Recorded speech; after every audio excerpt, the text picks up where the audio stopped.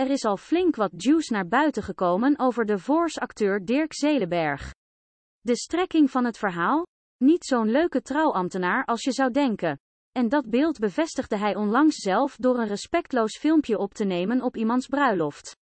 Een grapje, zegt hij zelf. Walgelijk, vinden critici als Paul de Leeuw. Mark Koster, mediajournalist en telegraafcolumnist, gaat nu enorm hard tekeer tegen Dirk. Het is een vieze vuile hond gewoon. Ja, sorry dat ik het zeg. Ik ken hem wel een beetje. En hij zit nu ook in die echtscheiding. Het is zo'n achterbakse naar beneden trappende idioot. Dat moet je helemaal niet willen, briest hij in de Juice Show. Hij vervolgt, dus waarom willen mensen deze man als trouwambtenaar? Dit is gewoon een heel zwartgallig iemand die je over de vloer krijgt. Die helemaal niet van jou houdt, maar van zichzelf. En omdat hij niet genoeg geld krijgt, gaat hij ook nog zuur doen tegen jou. Dat huur je in. Collega Yvonne Koldewijer vindt hem ook vreselijk, zegt ze. Hij zit op dat filmpje dus in een bastion hotel. Ja, dat heb ik gehoord.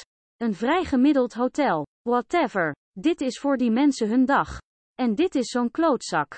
Mijn hart zou echt gebroken zijn als dit mijn huwelijk was. Ik heb het idee dat Dirk eigenlijk alleen maar luxe wil. Luxe om zich heen. Kennelijk is een bastion hotel voor hem te min, al dus Yvonne. Ik denk dat hij dit een afgang vond. Dat hij in het bastion hotel in een bloedhete kas moest staan en niet zo heel luxe werd behandeld of zo. Ik heb laatst ook gehoord dat hij was geboekt voor een bruiloft en hij wilde het afzeggen, want dat bruidspaar had een viersterrenhotel geboekt. Een viersterrenhotel is toch prima? Het was ook nog een tropisch oord, hè? Ze vlogen hem in naar een ander land.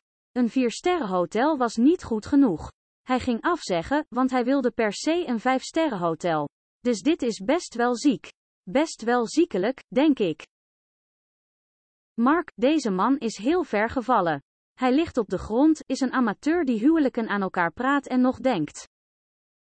Yvonne besluit, hij mag hartstikke blij zijn dat hij daar nog op kan teren.